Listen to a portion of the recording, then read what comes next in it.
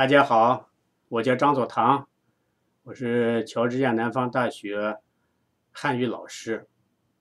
今天要跟大家说一说，呃，当今的学生为什么要学习汉语普通话？这个问题呢，不同的人大概会给出不同的理由，但最主要的理由应该是两个。第一个呢，就是世界上讲汉语的人太多了；第二呢，讲汉语的国家。在世界这个政治、经济和文化各个方面的影响力太大了。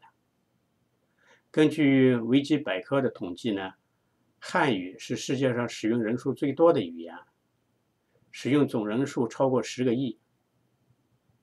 也就是说呢，全世界每七个人中间就有一个是讲汉语的。那讲普通话的呢，大概就是每五个或者六个人之间就有一个。使用汉语的人数排在这个英语、印度语、西班牙语和阿拉伯语之前。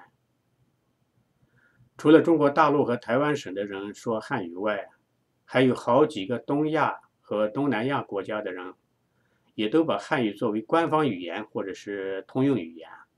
比如说，呃，马来西亚、新加坡、印度尼西亚、泰国、文莱。菲律宾和蒙古等。那么，学会说汉语呢，不仅可以学习与汉语相关国家的历史与文化，同时呢，还可以和这些国家的人做生意，或者找与这个汉语有关的工作。在全球多元化飞速发展的今天，能够比较流利的说一种自己母语之外的语言，不仅能够更好的促进沟通。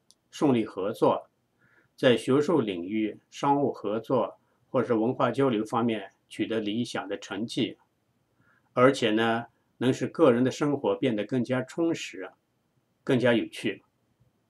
比如说吧，你去说汉语的国家旅游观光，如果你会说汉语，那你所获得的是不会汉语的人无法得到的。